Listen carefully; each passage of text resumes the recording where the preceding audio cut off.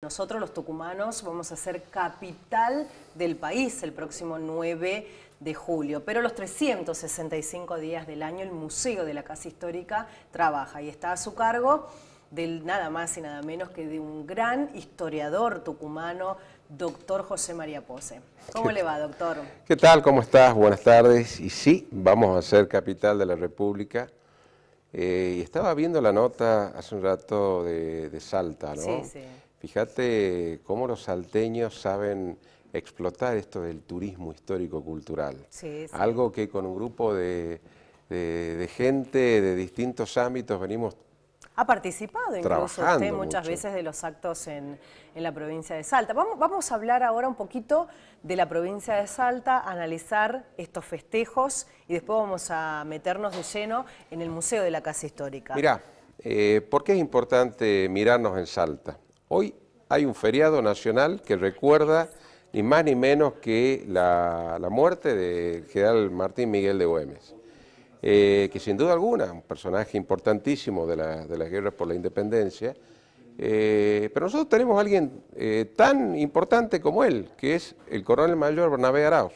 Claro. Y sin embargo, este, no solamente que no lo conocemos, sino que hasta algún personajillo por ahí este, está, está oponiendo resistencia, ¿no?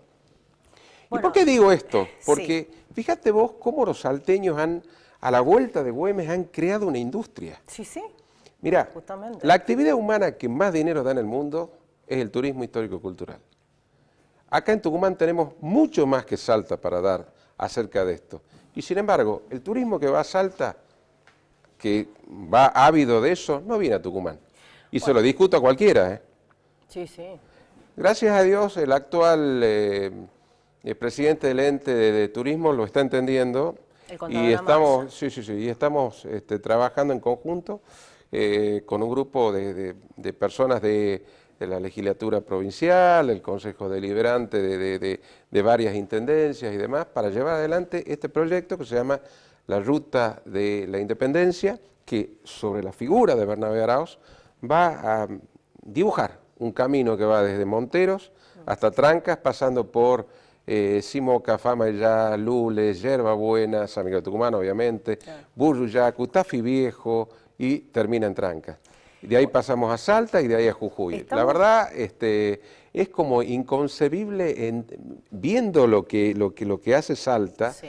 Este, Que antes ¿cómo no, no? era feriado nacional. Lograron imponerlo en el calendario turístico de que el 17 de junio prácticamente se paraliza el país y los ojos también de la Argentina puestos en la provincia de Salta. Mira, yo te voy a decir algo. Este, si hay algo que tienen los salteños es que tienen la mirada puesta en algo y lo llevan a cabo.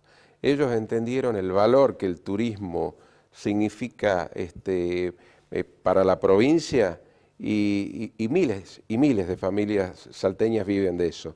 Este, la verdad, este, no sé qué estamos esperando los tucumanos para entender por dónde pasa. Porque yo te digo, soy Sí, sí. con mucho orgullo director del Museo Casa Histórica de la Independencia, pero tenemos mucho más que el museo para mostrar a los Bueno, tucumanos. justamente hoy, doctor, el diario, de- el diario tucumano publicó a Bernabé Araos, lo quieren en la estación terminal de ómnibus Claro. y también lo quieren en las aulas. Es que volvemos a Salta.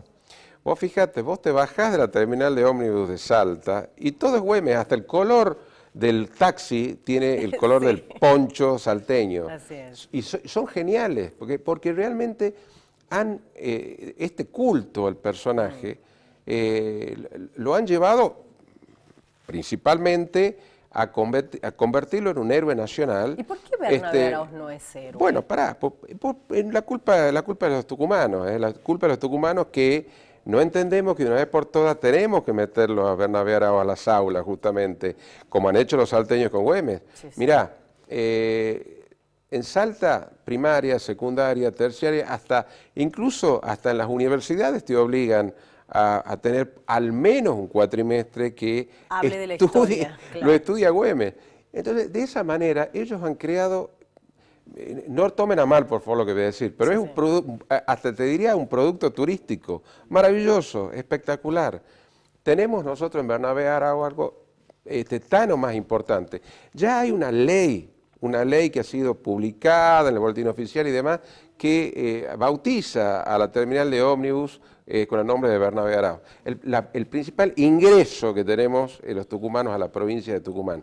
Por supuesto, hay que ponerle, lo único que falta es poner el, letrero y obviamente imágenes y demás que cuando, cuando, cuando baje un, turista vea la imagen de Bernabé Arau como tiene que ver la imagen de Alberdi, como tiene que ver la imagen de, Lola Mora, la muy tucumana tranqueña Lola Mora, o la imagen de la Mecha Sosa, o la imagen... los salteños la, la toman como como propia, ¿no? Ah, bueno, por culpa de los tucumanos, no de los salteños. Todo es culpa nuestra, ¿no? Todo es culpa nuestra. ¿Sabes por qué? Porque somos como hijos de ricos. Tenemos tanto que no lo valoramos. bueno, lo vamos a lograr. Estuvo presentando el libro inclusive en el Senado. Eh, Estuve invitado por la senadora Sandra Mendoza eh, y la verdad que estuvo espectacular porque realmente nosotros logramos este, con Em, con esto de, tratar de llevar a, Bernabé Arauz eh, a ser héroe nacional, a la posibilidad de que podamos ni más ni menos que, em, a ver, entender que em, si, si, lo nacionalizamos a Bernabé Arauz de alguna manera, no, vamos a tener la obligación de nosotros saber explicar.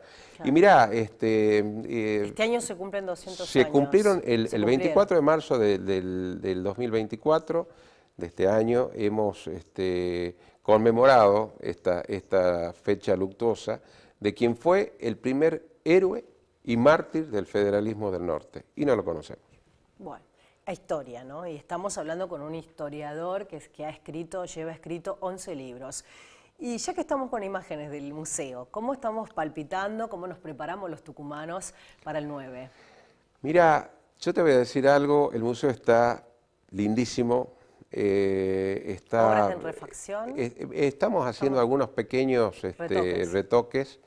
Ahí vemos la sala de la jura, por ejemplo, hace dos años que la mesa donde se juró, donde se firmó el acta de la independencia y se juró la, independencia, de alguna manera, y por razones que, este, que desconozco, honestamente, No, estaba, no estaba expuesta. Bueno, eh, se han puesto los especialistas de, la casa eh, a terminar de, restaurarla y sobre esa histórica mesa nuestro presidente este, seguramente va a firmar el libro de visitas, ¿no? Tiene, bueno, a ver, nosotros lo decíamos la semana pasada, justamente cuando nos habíamos juntado eh, de casualidad, eh, justo era el Día del Historiador, que de paso lo saludamos nuevamente. Eh, ¿Viene el presidente Javier Milei? ¿Se puede firmar el pacto aquí en la provincia? Porque aparte del presidente, la figura del presidente Javier Milei, están detrás todos los gobernadores.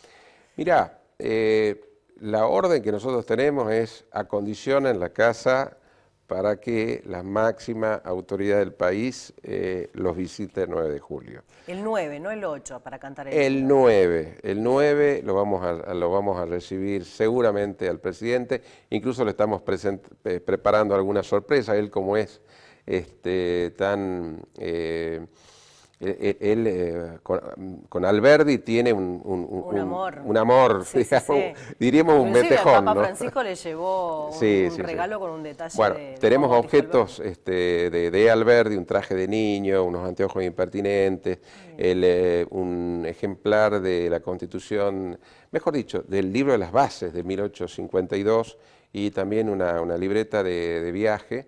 Eh, y estamos viendo de, acondicionar todo eso para, para que nos pueda acompañar, aunque más no sea unos minutos, a, de alguna manera es un guiño. Y el mensaje que va a dar también. A su, sí, por supuesto, pero mira, por, sobre todas las cosas, eh, mira, esa mesa que está que estamos mostrando ahí eh, no es, una mesa, este, no, es la, no es la original. No, no, e, esa mesa que está en, en ese este, es una mesa muleta que tenemos hasta tanto, hasta, tanto, coloquemos la, mesa original.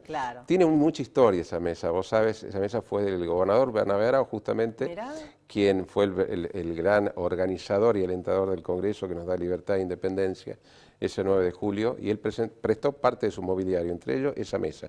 Y en esa mesa él en 1812 había firmado con el general Belgrano ese acuerdo para que Belgrano se quedara en Tucumán y peleara esa batalla que salva la suerte de, la revolución, ese 24 de septiembre de 1812. Vaya si no tiene historia esa mesa. ¿eh? Sí, imagínese. Ah, o sea, la pregunta tuya ya sé para dónde viene. ¿Haremos historia de vuelta? Y no lo sabemos.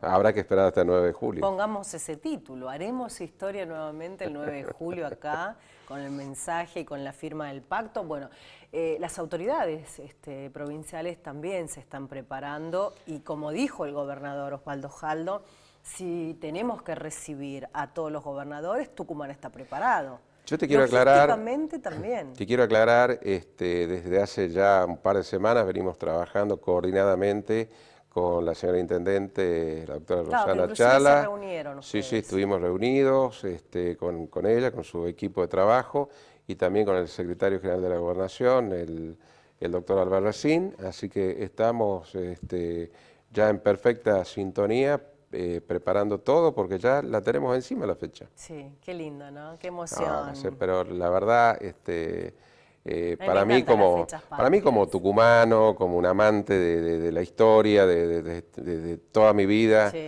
este, eh, que me toque esto realmente es un regalo. Doctor, una vez cuando hablábamos en la radio, le decía, ¿hemos perdido el valor los tucumanos de embanderar nuestras casas?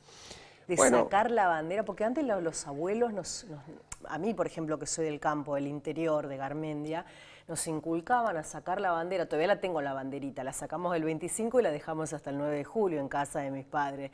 Pero eso está bueno, ¿no?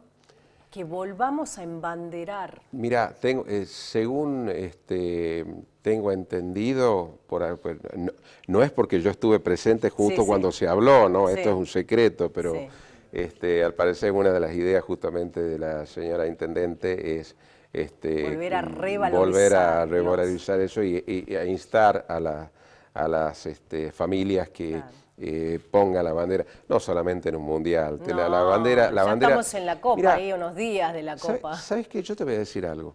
Este, bueno, sabes que soy del Instituto Belgraniano. Esa bandera nuestra es la bandera, no solamente la más linda, sino la más inclusiva. Yo te voy a decir por qué. Mm. Vos sabés que cuando se firma el acta de la independencia, eh, Serrano, que era uno de los este, congresales, tiene la idea de que esa, esa acta se tradujera también al quechua y al aymara y se hicieran copias, se hicieron mil copias y se mandaron a todos los pueblos, ¿no? porque queríamos invitar justamente también a los pueblos este, indígenas este, de las distintas etnias, ¿no? a que fueran parte de este nuevo país. Y me hace gracia porque eh, al parecer eh, la, bandera Huilpala es la que hoy por hoy en bandera las naciones indígenas. Y la bandera, la bandera Huilpala solamente representa la etnia este, quechua.